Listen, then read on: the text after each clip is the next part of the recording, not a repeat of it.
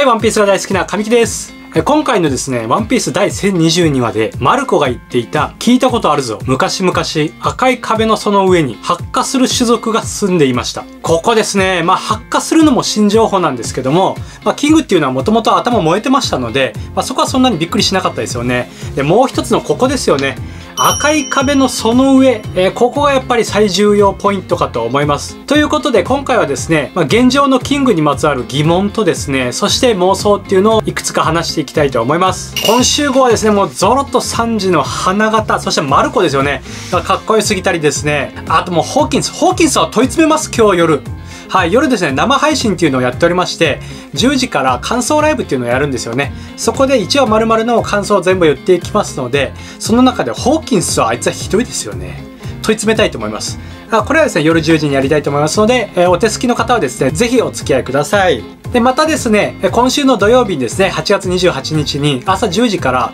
ワンピースの第1話から、まあ、100巻収録分ですね、第1015話ぐらいになると思うんですけども、1話1話見ていてですね、ドンっていう音がですね、何回書かれたかっていうのを生配信やっていきますので、そちらもよかったらお付き合いください。よろしくお願いします。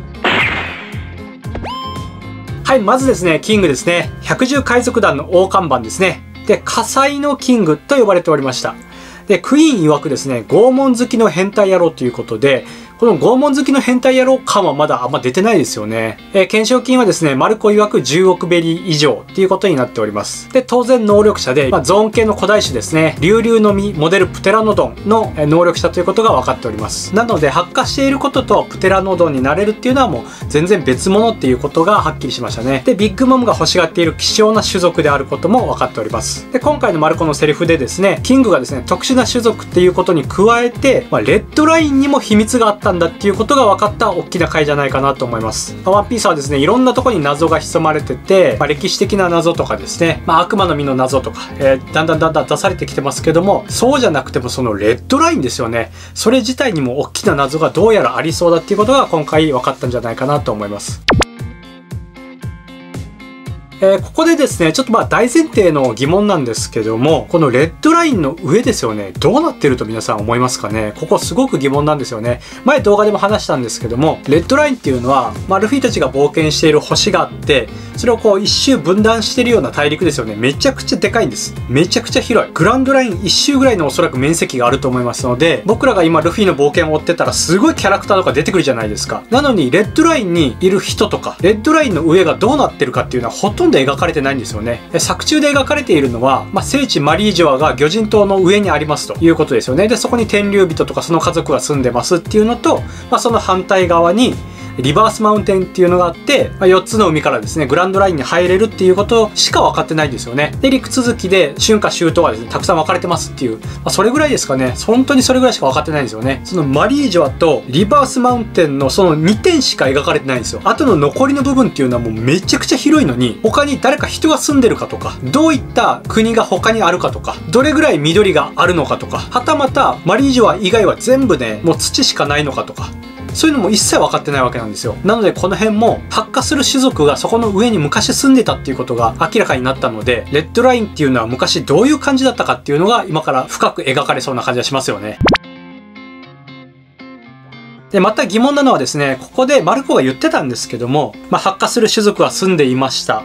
で、その次に、まさかそのって言ってるんですよね。で、そこでクイーンが来て言葉を遮られたんですけど、その続きですよね。まあ単純に考えると、まさかその生き残りがここにいるとはな、といった感じだと思うんですよね。で、また疑問なのがここでですね、え聞いたことあるぞ。昔々赤い壁のその上に発火する種族が住んでいました。ということは、これ昔話風に言ってますよね。まるで嘘つきノーランドのように、多分ある地域では広く知れ渡ってるんですよね。昔話のような感じで口伝えとか本になって、その話自体は有名な感じなんじゃないでしょうかね。ビッグマムがですね、キングの種族のことを言ってた時ですね、でビッグマムが欲しかったのは3つの種族なんですよね。1つが巨人族、2つ目が歴史の彼方に消えた種族。でビッグマムがその話をしてる時に、キングに、でもお前は生きてるっていうことを言ってましたので、この特殊な種族の生き残りがキングっていうことを言ってるのか、それとも3つ目の種族がキングっていうことを指してるのか、これはどっちかわかんないんですけど、まあどっちにしてもめちゃくちゃ希少な種族っていうのはキングっていうのは分かっておりまして、まあ今回のマルコの話とか、今言ったビッグマムの話をですね、ちょっと混ぜ合わせると、どうも滅ぼされたっぽいじゃないですか。これはですね、まあ希少な種族っていうよりも、昔は普通にいたけど、ある人々によって数をすごく減らされていってしまって、希少にになってしまったということかもしれませんよね。まあ今のですね、事柄たちからですね、ちょっと考えられることをちょっと紹介していきたいと思います。キングっていうのは空白の100年に消された種族なのかもしれません。まあもともとマリージョアにその種族が住んでいたっていうパターンですね。さっきも言ったように自然に滅んでいったわけではないと思うんですよね。ということは空白の100年に、まあ、世界の20の王ですよね。まあ、世界政府側がですね、レッドラインに来て、その種族を排除したんじゃないでしょうかね。で、ここでまた生まれるのはそのなぜ滅ぼしたかなんですよね。20の王たちっていうのはわざわざレッドラインに移住してるわけなんですよ。でその世界で選ぶりたいとかね、自分の権威を誇示したいというのであれば、別にどこの島を占拠してもよかったと思うんですよね。どこかの一つの島を占拠してそこにすごく権威のあるでっかい建物を立たせると。そうすれば、あそこは天竜人たちが住んでるところなんだっていうことで聖地になるはずなんですよ。そうじゃなくて、わざわざレッドラインの一番上まで行って、移住したっていうことは、まあ、おそらくですね、その土地を欲しかったっていうことにつながってきますよね。で、ここで考えたいのはですね、なぜその種族を消したかというよりも、なぜレッドラインの上にわざわざ住むことを決めたのかですね。レッドラインに移り住むこと自体が世界政府がまやりたかったことなのかもしれません。そうなってくるとやっぱりレッドラインにこそ大きな謎があるっていうことですよね。で、その謎が分かれば世界政府が隠したがってることも分かるし、一つなぎの大秘宝、ワンピースにも繋がってくるといういうことになるんだと思います。また考えたいのがですね、このキングの発火する種族っていうこの特殊性ですね。えー、ファイヤーパンチみたいですよね。ずっと燃えてるわけなんですよ。能力者でもないのに発火して、それをずっと保ててるっていうのはかなり特殊なんですよね。えー、手長族とかですね、魚人族とか巨人族とかとは、もう全然全く違う特徴じゃないですか。果たしてこの種族はですね、自然発生したものなんでしょうかね。まあ、ここからはかなり妄想なんですけども、もしかしたらですね、昔はレッドラインっていうのはずっと燃えてる土地で、そこにいる人間たちが、そこに順応するために炎をまとうことができたと。そういう可能性もあるんじゃないでしょうか。まあ、どちらにしても、レッドラインには大きな謎がありそうだっていうことはもうこれ確定だと思いますね。もうそうなってくるとですね、レッドラインがなぜ赤いかとかですね、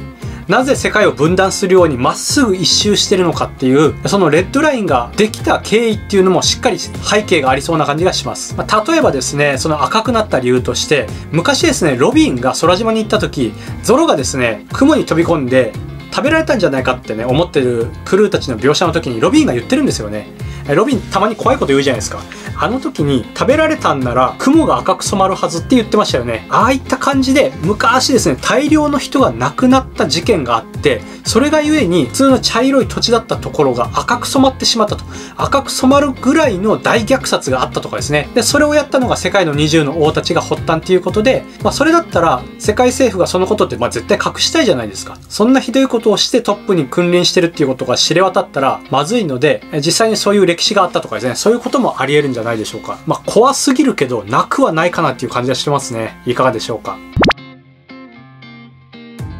で、今回の話でまたちょっとね、この、こことここが繋がってくるんじゃないかっていうところで言えばやっぱり、太陽の神ニカとの関係ですね。最近の謎で、まあ、忘れちゃいけないのがですね、太陽の神ニカの存在ですよね。まあ、ニカのシルエットもですね、頭がどうも燃えてるような感じにも見えますので、もしかしたらキングの種族、イコール太陽の神ニカの種族なのかもしれません。まあ、極論を言うとですね、ニカ族のキングっていうことになってくる可能性もあるんじゃないかなと思います。また太陽族でもいいかもしれませんね。そういったことを考えていくとですね、ねこれも割とあり得るんじゃないかなと思うんですよね。まあよく月の民とか太陽の民とかね、まあ五老星はいろんな惑星のトップで、それが今、青い星に降りてきてるとかですね、いろんな考察見ますけど、そういうところと繋がってくるのかもしれません。昔はですね、今の星っていうのは太陽の民が支配していたと。なので、レッドラインっていうのは太陽のようにずっと燃えていた説ですね。で、そこに、え資源をなくした月の民が降りてきて、支配しようとした。太陽の神に虐げられてきた人たちが力を合わせて、ま、20の王家ですよね。20の王家が月の民側に協力して太陽の神の支配を終わらせたということであればですね、太陽の民と関係する発火する種族が月の民によって消されてしまって、その生き残りがキングっていうのも十分あり得るんじゃないでしょうか。まあ本当にいろんなことがね、考えられますよね。もし太陽の神ニカとですね、